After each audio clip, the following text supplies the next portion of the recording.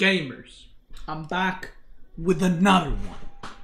Today, we're gonna do a little wild replay analysis of Zemista. And I'm gonna give my opinion. A lot of people ask me what I think about the strategies and all that.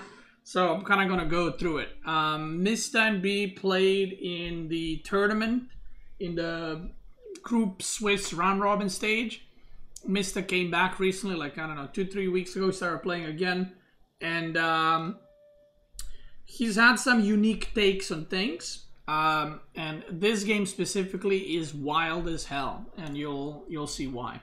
Now, I'll give my opinion from like strategic point of view, like how viable it is. Not like one game, but how viable it is.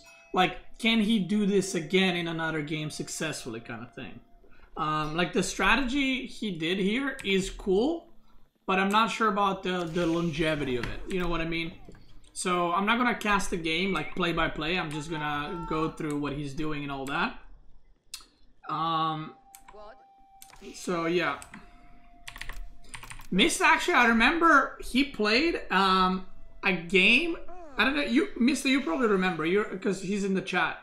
You remember games uh, as well. I remember you versus Demu on uh, Altai. It was French versus China. Do you remember that game? I don't know where it was played, but it this game reminded me of that. So basically, what he did in that game is like the meta was always to attack in feudalist French, right? But he went like double or no, it was like triple or quad TC, and then he made like two knights and Demu was making units because he thought he was going to get attacked. And this is when players were a lot worse, or you know, worse skill wise. So Demu didn't scout as much, and then missed the wall off the map and went Imperial with only two knights. And then literally when Demu saw it, he tried to attack. And then there was like two keeps. I think there was a red palace as well, and then he just mass knights and, and beat his ass. So this game kind of reminded me of that. Not to that extent, but that's the first thing that, that I thought of um, when I saw this game. So, yeah. Alright, so... Starting out this game, it's pretty normal. Nothing unusual, I would say. I think uh, B goes for, like, multiple TCs. And Mista goes for Oh yeah, this this part I didn't really get. Like he goes archer range, but then doesn't make anything out of it. And I'm not even sure if B scouted it. Okay, he did, yeah. So I don't know, maybe just like a fake archer range to, to feign aggression, I'm not sure, but yeah. So he goes, and I'm assuming he maybe thought that this is going to be here, maybe he thought that this is not going to be as fast, but TC was right here and it's fully completed. Behind he went for second TC. Um, pretty standard and he only made one knight, right? Got a nice TC here around the gold. Um,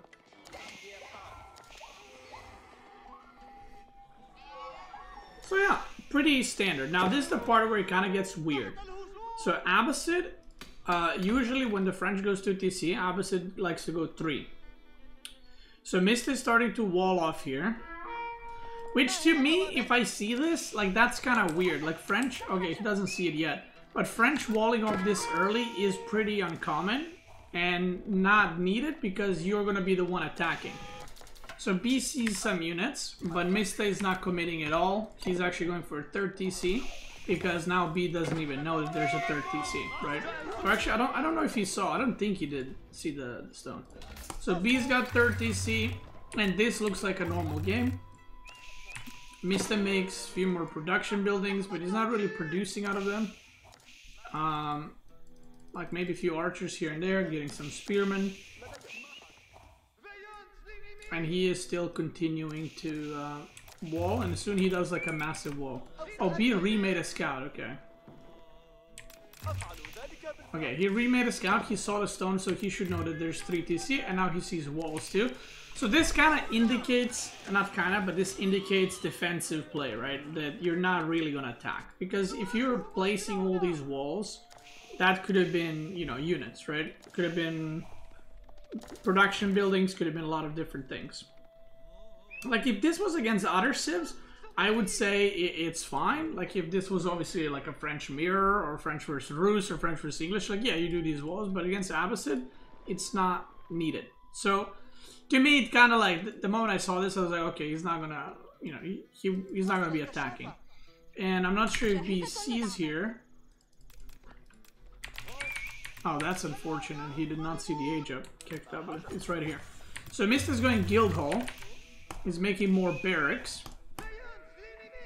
So, so far, like, this is uncommon play, but it's not necessarily, like, weird or bad play. It's just, you know, it's more common to be aggressive, that's all.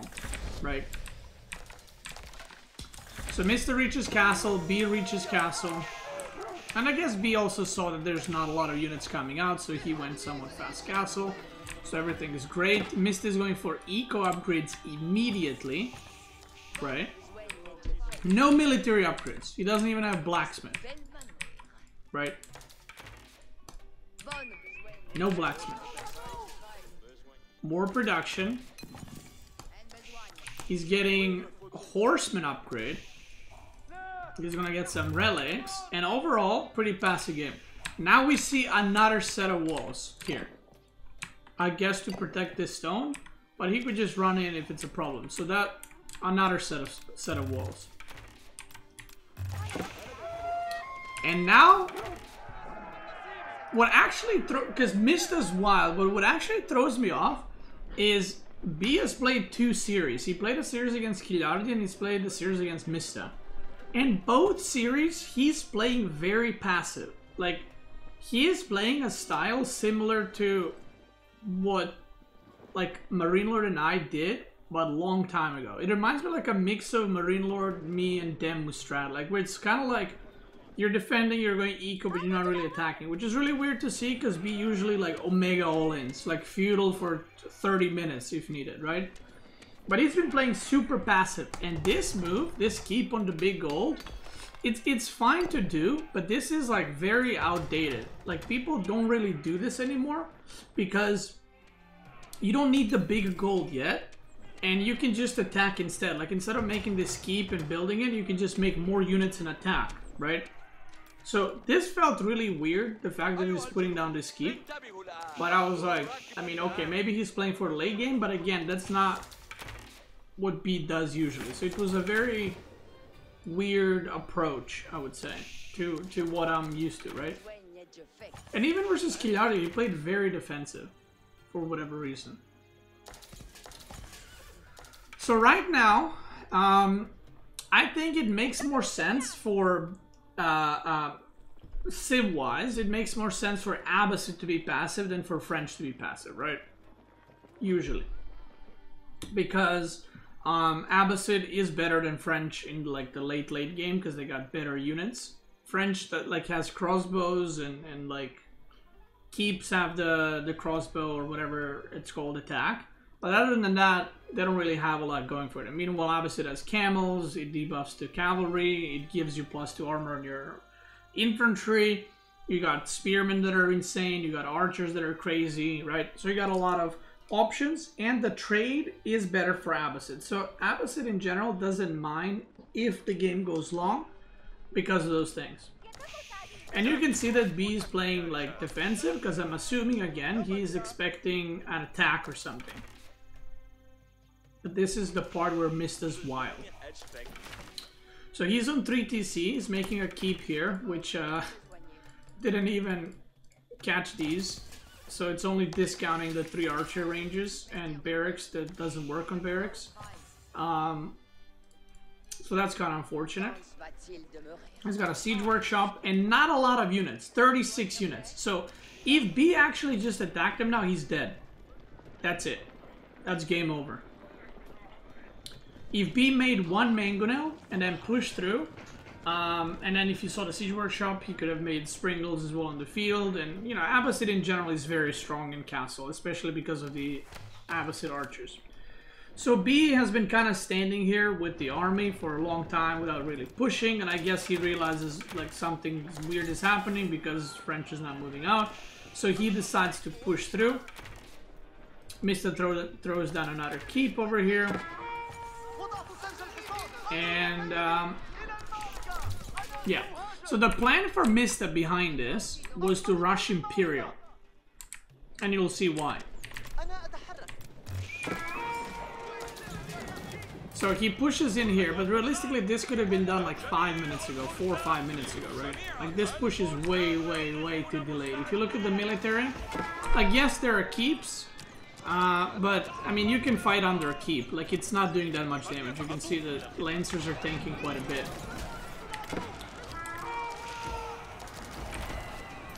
So for Mista, like all you gotta do now is like maybe make Springalds or something to, to hold until you get Imperial.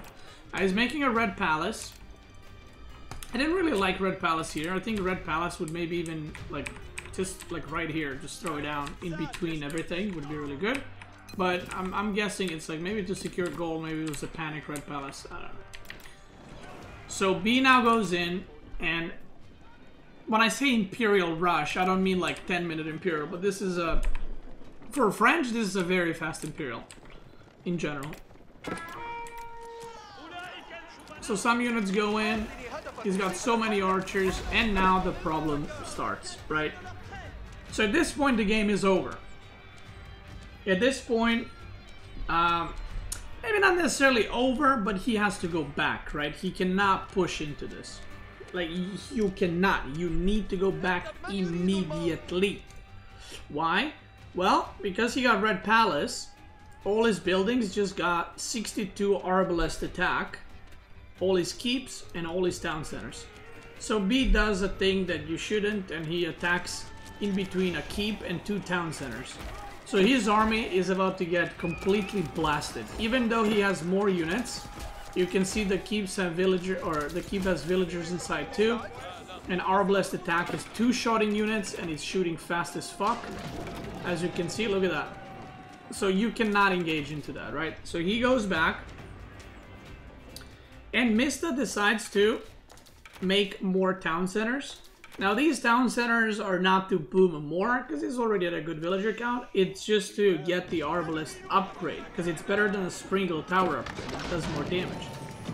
This hit was pretty KW, and this pretty much not only denies the push, but the next fight that happens, these units are so bruised up, they're gonna be in a really, really shit spot. Like when they actually fight, right? So B is trying to push in, which, um, I mean, it's just not going to work, right? The, the Arbalest will absolutely melt everything. So the right move here for B was to actually go secure both big golds, which Mista is building now with, like, no unit presence, because he just went for it and he, you know, finished the keep. But realistically, what B should have done is go back, secure the big gold, and then maybe try to deny trade so that Mista runs out of gold, right? Something along something along those lines. But instead, uh, Mista gets the gold, and now you're in a situation where Mista is Imperial, he's got all these units, he's already started the upgrades, and B is stuck on 45 archers that are broken in castle, right? They're really good. But if the opponent is Imperial and you're a castle, that's not, they're not very good. Like, you would rather have 45 spears at this point, or 45 crossbows, right? Not, archers are not the best army. So even though, army-wise, the armies are, uh, like, B's even ahead, his army is not very good. And also, these are elite horsemen, so they got 7 armor, and these guys do 9 damage, right? So, not good. Um, so now you, you can kind of see he doesn't really know what to do. He doesn't really know where to go. He's just kind of standing here. And standing here like this is just waiting to overextend. He has no spearmen, by the way. He has three spearmen. They just ran into archers. And these are elite horsemen. So he's just going to jump on that and mow down his army completely. So, yeah. So he's trying to stonewall Mista now. Stonewall him in. But he just lost his whole army. And now He's got some camel riders, which is nice, but Mista has some spearmen, I think, in here. Or he has some men-at-arms. He has archers, he has crossbows. He's got feudal archers, KW. I guess he never upgraded, but he's not producing them more anyway. And now, because Mista was pretty greedy, right? He he went for eco upgrades first. He went triple TC versus three TC Abbasid, which is favored for French because you produce villagers faster. Then he went for fast Imperial and got those upgrades. B gets caught um, not only with veteran upgrades on units, like he, all his units I think have veteran upgrades. I don't think he has a single unit that's that's uh, that's upgraded. Yeah, all his units are, are castle, and he is fighting against elite uh, crossbows. He's fighting elite horsemen. Uh, he's fighting like with plus three against plus three ranged, plus three melee. Biology just finished, so this is basically an Imperial army fighting a feudal, or sorry, castle army. Even though B is castle, he doesn't really have any upgrades. And his gold is non-existent, which I'm not sure why. Is 37 on gold somewhere? Question mark? Where the fuck does he have 37 on gold? Am I blind? Oh, I think he sent them. Yeah, he's not gathering any gold right now. I don't know where these villagers are. Are they... He had a lot of villagers here, but they're gone. So yeah, he has no villagers, so he literally just has no gold. He hasn't upgraded any anything. He's making panic keeps. And at this point, because of economy that Mista has, they have the same economy, except Mista has more gold.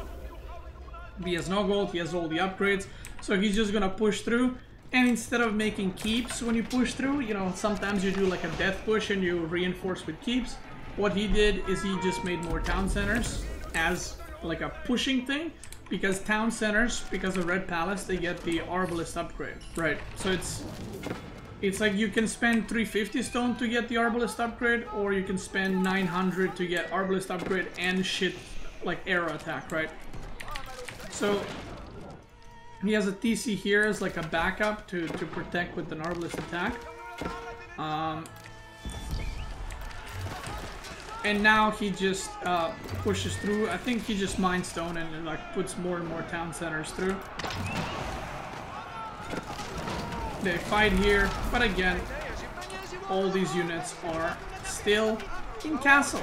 Uh, camels are upgraded, elite camels, so that's nice. But Mista has way more units. He's got a mango that was shooting, or two mangoes the whole time. Places a keep here. And now he's gonna push in and proceed to put more TCs. Whistle There's a cannon. Whistle. And cannon does a shit ton of damage, by the way. 600 damage for his building. So that thing is gonna go down fast. He's putting a TC right here as like a reinforcement point. And um, yeah, he's pushing through. The crossbows are still pushing. Crossbows, obviously, uh, French crossbows are very, very strong. So they can kind of fight against everything, right? They have high damage, they got uh, quite strong armor. 8 armor versus melee, 3 versus ranged. And they can also activate this with 5 ranged armor. Um, so you can see 8, eight armor versus melee, and he had 8 versus range, so that's pretty good. Making another keep. The cannons are doing damage. He's pushing through. And B did get some upgrades in the end. Here you can see the Elite Spearman now. But a little bit too late, like he has no units now, so yeah, kick W upgrades. And now B also has 4,000 food per minute. Earlier they both had around 2,500, so he added more, um, what's it called? He added more farms. But, uh, yeah, so the game ends, right? He's making another TC here, and again, this is for Arbalest upgrade. Some people were like, is he BMing or something? It's like, no, he's just doing it for Arbalest upgrade because it does a fuck ton of damage. Instead of making, like I said, one keep, you can make two TCs and have 200 stone left over. So, um, people ask me to review this game and to give my opinion. Do I think this is going to become a new meta?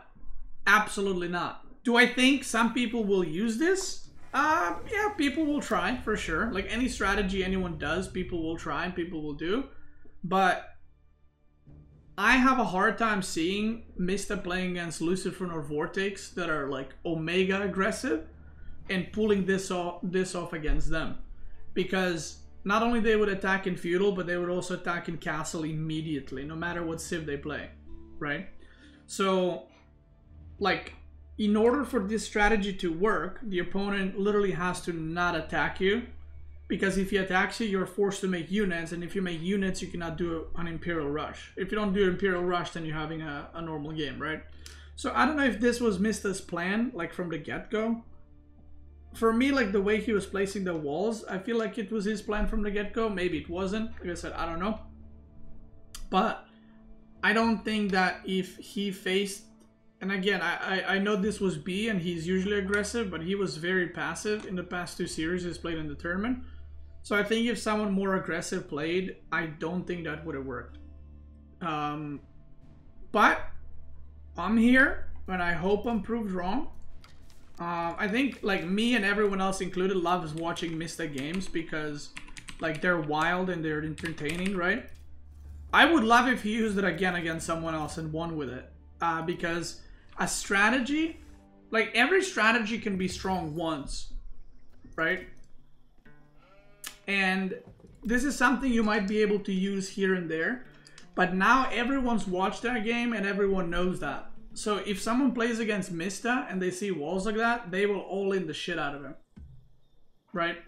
So Mista says this is a tournament strategy. Yeah, that's what I'm saying. Like this is not an everyday strategy, which doesn't mean it's a bad or good or amazing, right? It's a tournament strategy. I again, I don't think Mista is gonna use that one again. He might, but I think that the next time someone plays against Mista and he plays French, they will all in the shit out of him. As in, they're gonna attack him in field, they're gonna attack him in castle, because they know there's a potential of it, which then opens up space for more strat, more different strategies from Mista, right? Like maybe next time he plays French, he does the Omega all in. So people think he's gonna do this, but then he all ins, you know. Uh, but yeah, I don't think it's gonna become meta. I think it's a cool strat. Uh, but I would not imagine this become a thing in like Conquer ladder. This might be a thing in like lower leagues because people don't attack. But I think in um, you know if you're playing against an aggro player, that's gonna be harder to pull off. So this is another game. Uh, so Mist ended up losing the series three to two. Um, and I feel like the only two games that were kind of interesting. I mean, obviously, a, a, unique strategy is only interesting when it wins, right? Um, when someone plays a new strategy or interesting strategy and they lose, it, it doesn't look good, right? It looks pretty bad. But when a new or unique strategy works out, it looks amazing. So I didn't want to go through the other three games because they were um, they were losses, and then it's like you know, like I said, it kind of works out differently. Um, but this one was also interesting. It's not it's not as wild as the previous one, but uh, we've seen, in my opinion, Malian's not that strong uh, anymore. Like, I feel like a lot of people learn how to play against Malians, and they've been doing better and better against Malians.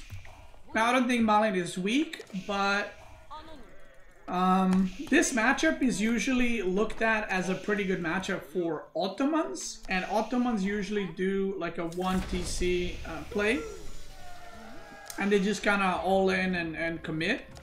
And in this one, Mista went with 2 TC, and I've been playing 2 TC Ottoman for a while in different matchups, and in some matchups it's like really shit, it feels like. In some matchups it's pretty decent. Um, it's like if you do 2 TC against French or something, it, it kind of feels rough, like I feel like I'm put on back foot.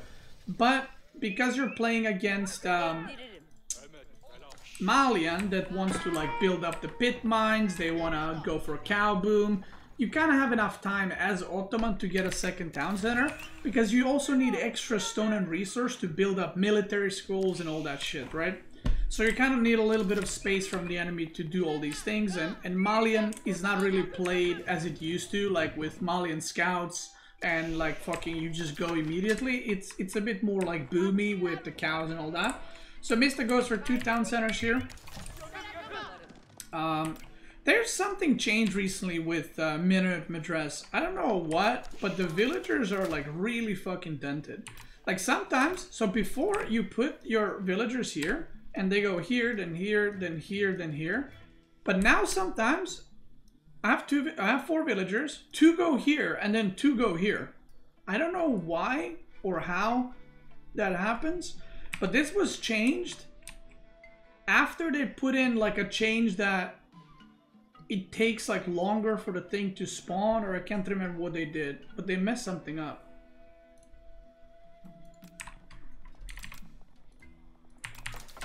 They messed something up. Because look, he's got these berries, right? And then the villagers went here, which makes no sense. Why didn't they go on this one? It's closer. Anyway. Missed the one for second TC right here. Mm-hmm. And he got extra stone for more military schools. And now he's gonna make some units, but not really super commit or anything. Like he's gonna produce some Sipahi, some archers, and he's just gonna go for um, for super fast castle age up, which is what we've seen other players experience with, like faster age up. And again, I am very confused. Right? B is playing Giga passive. I don't understand why. I don't know if he's like trying to change his playstyle or something. I'm not really sure. Like maybe that's a thing. Maybe he's trying to switch it up to change the playstyle. I don't know. But this is not how he usually plays. Like he would all in in feudal with like for like 40 minutes two weeks ago. So I don't know. So he goes for an age up here. Mista went for an age up. And now Mista's just, he's not really harassing, like he's harassing here, but he's not really committing, like he's not going in trying to kill stuff. He just masses up an army. This was pretty funny, because Sipahi have higher attack speed with the ability, so he just burns the thing. Um, so he's just gonna mass up an army, and because he's also making mangonels, it's kind of annoying and scary to play against Ottoman in Castle, because you kind of have to, have to build Springald. If the enemy is controlling well, you gotta build Springald, and then you gotta waste resources there, there and, you know? So, Mista just goes for a little bit of everything, and has some men-at-arms, which are very strong against Malian, because the only way for Malian to kill men-at-arm effectively is Musofadis, but then Ottoman has so much ranged units that um, that the Musofadis are just gonna melt, right? So he has some Sipahi, some crossbows, some archers, some spearmen, like a little bit of everything. He's got Mehter uh, as well. And now Mista is just gonna go for... He's making a, a monastery or mosque, which is... Uh, he's gonna try to pick up some relics. And now B goes for attack. But this army is just a lot stronger. A lot, a lot stronger. Like, he's got a lot of javelin throwers, so he can pick off the, the back line and stuff like that. But this is kind of like the death army, right? Like, Malian is not very good when you're fighting big armies. Malian is very good to do shit like this. Like, if B took like another 8 sofas or 10 sofas and ran it on this side and then some sofas on this side, like, that's kind of how you want to play especially probably in this matchup. But they kind of have a head-on fight, which just does not end up working uh, for B. Like, there's so many crossbows, there's some Janissaries as well. Javelin throwers are picking off stuff, but there's Mangonels that are absolutely fucking trashing them. The Sofas end up dying, chased by Sipahi. And after that fight, I mean, it's pretty bad, right? Because I don't even, to be fair, I don't even know what the fuck you make as Malians against this. Because you, well, you need a Springald, but then it's like, what do you make after? You don't have any uh, tanky melee units. I guess Sofas are. Um, but other than that, it's it's a pretty rough one, I think. And Mista just goes for a straight up push. And after losing the, the big fight, it's going to be pretty rough. He tries to snipe the Mangonels, which just does not work out at all. And uh, how many crossbows? 12 crossbows and 14 Janissaries. So these sofas are like getting absolutely plastered. Now it's three Mangonels. And that's pretty much game, right?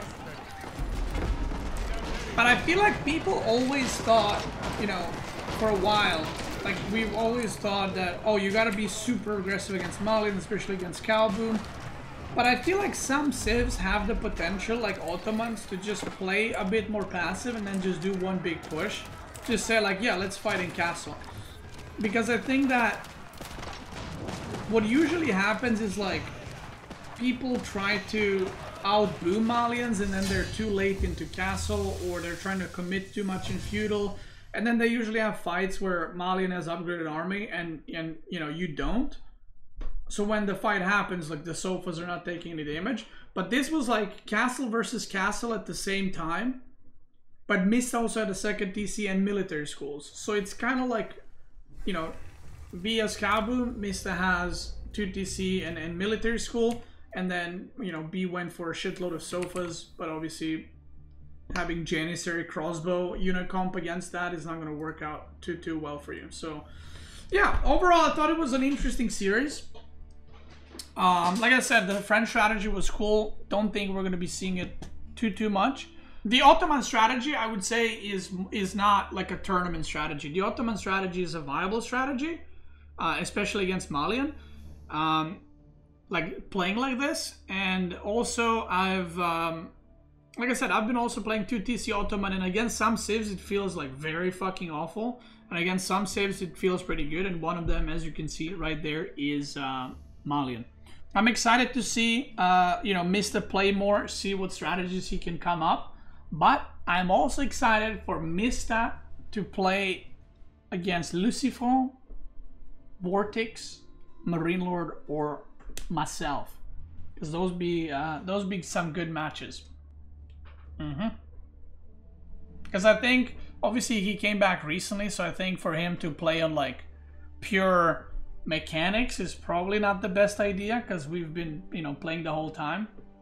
But uh, so it would be interesting to see him pull some strategies uh, against us. So I'm excited to see uh, you know, like I said, Mista's in the chat. I'm excited to see your games, Mista, next week. See what you come up with. And um, yeah, that's it. Mista's wild. He's back. Another wild player, by the way, is Chiardi. If you end up watching the EGC TV tournament that's happening every Saturday and Sunday from 5 p.m. CST, check out his games as well. He is fucking wild, brother. So, yeah. If you're watching on YouTube, thanks so much for watching. I hope you enjoyed this one. Um, check me out on Twitch. I'm probably live right now. Uh, I've started doing a thing. Uh, I already said it on Twitch, but I'm going to be doing two best of seven show matches on my stream every single day. And if I lose, I am going to give my opponent $100. If I win, I don't want anything from my opponent. And I have uh, already the next three days booked up. And I'm obviously going to be playing against like the top pro players that are up for this. So if you want to see that, check them out on Twitch as well. Uh, YouTube gamers, have a good one. Twitch gamers, let's keep going. Thank you.